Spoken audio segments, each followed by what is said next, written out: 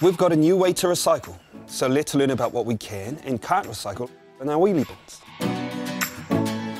This big one with the yellow lid is for mixed recycling. That's household plastics with the numbers 1 to 7.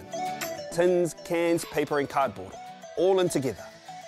Plastics found in the garden shed or garage cannot be recycled because of the chemicals and other products they had inside. It's not safe for the staff sorting the recycling. Make sure your recycling is washed before you chuck it in the wheelie bins. All clean paper and cardboard goes in as well.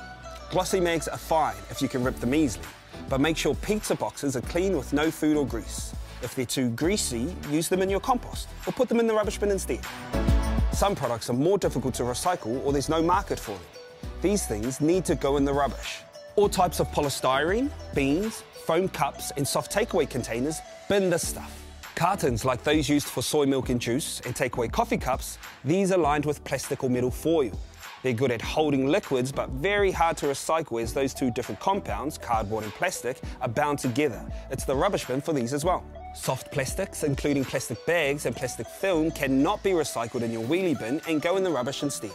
All our recycling in Waipa will be sorted by local people. They sort some parts by hand, so keep it clean. Now the smaller one with the blue lid, this one is for glass bottles and jars.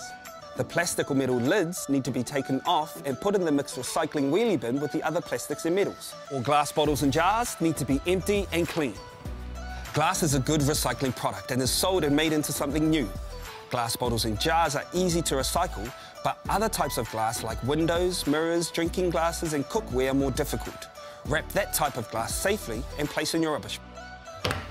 Thanks for keeping our recycling clean and correct. That's the best way to make sure it gets off to market to be made into something new.